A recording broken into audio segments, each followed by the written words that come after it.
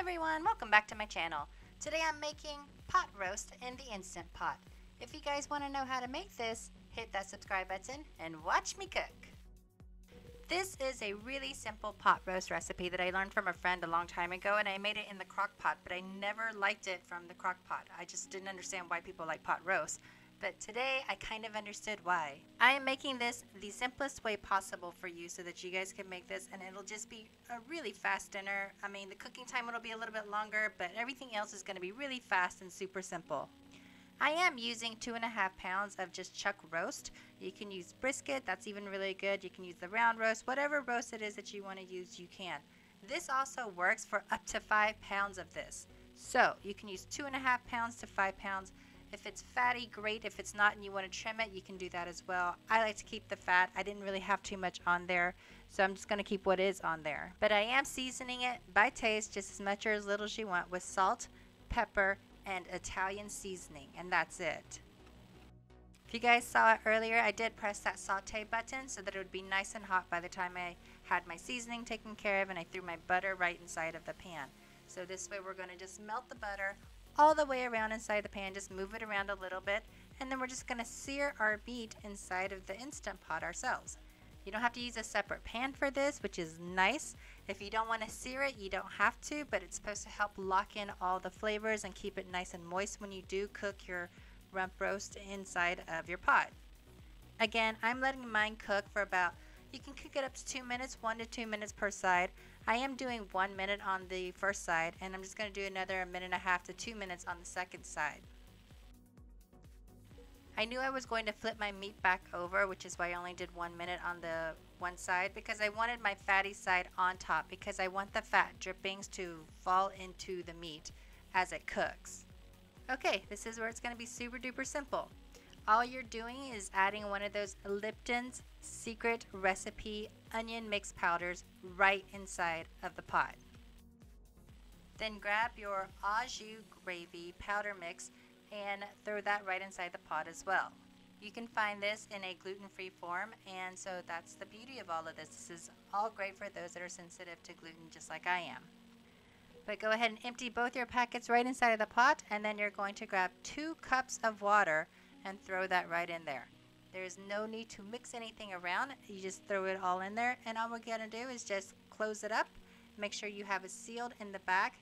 Press cancel in the front and then we're to pressure cook this for 1 hour and 30 minutes. 90 minutes total. I know it's longer than most but it does work this way and it's faster than the crock pot or your oven.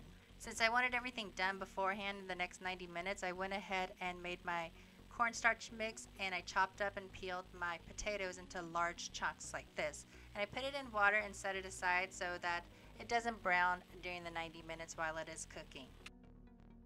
And through the magic of editing, I went ahead and cut all the 90 minute wait for you guys out. But we opened this right up and I went ahead and drained all the liquid out from my potatoes. They are not brown as you can see and I'm going to pour that right in there. I'm also grabbing one bag, 16 ounce bag of baby carrots and I'm pouring that all right in there and then we're just to pressure cook this um, for five minutes now and then your meal is pretty much almost done. Oh, if you ever doubt whether or not all the steam is done coming out of your Instant Pot, I wanted to show you guys this. Watch that red button. It's sticking out right now and when it's done, it went right in. If you never knew, I didn't know, I just noticed and I had to share that with you guys because I couldn't believe I've never noticed it before. So this way you never know you're, I mean, you don't have to try to force the lid off yourself and you can just wait and know when it's ready to open up. Alright, let's get back to the food here.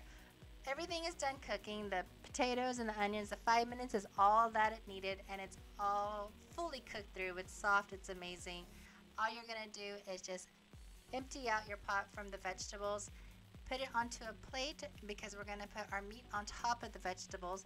And then once that's done, oh, be careful with your meat, by the way, because it's going to be super moist and tender and it's going to fall apart like you see it in here in the video. Alright, so let's go ahead and make sure all of our meat and our vegetables are emptied out from the pot because we're going to make our gravy. Press that cancel button and then push the saute button on your Instant Pot because we're going to start with our tablespoon, oh actually it was two tablespoons of cornstarch and two tablespoons of water to thicken up the sauce that was sitting inside of the pot. As you can see, the mixture did get firm because it's been sitting out for like nearly two hours at this point. And if you keep moving it around, it will eventually liquefy so you can make your gravy mix in there. You're going to want a whisk for this part. A fork is not going to cut it. So grab your whisk and stir it around and then I'll give you guys a better view. And when it's all nice and bubbly from the saute button, then you know your gravy is done. Go ahead and set your gravy aside into a separate bowl or gravy boat. And this was literally the best pot roast I'd ever eaten in my entire life. The Instapot is just killing me. If you guys love this recipe as much as I did, please hit that subscribe button.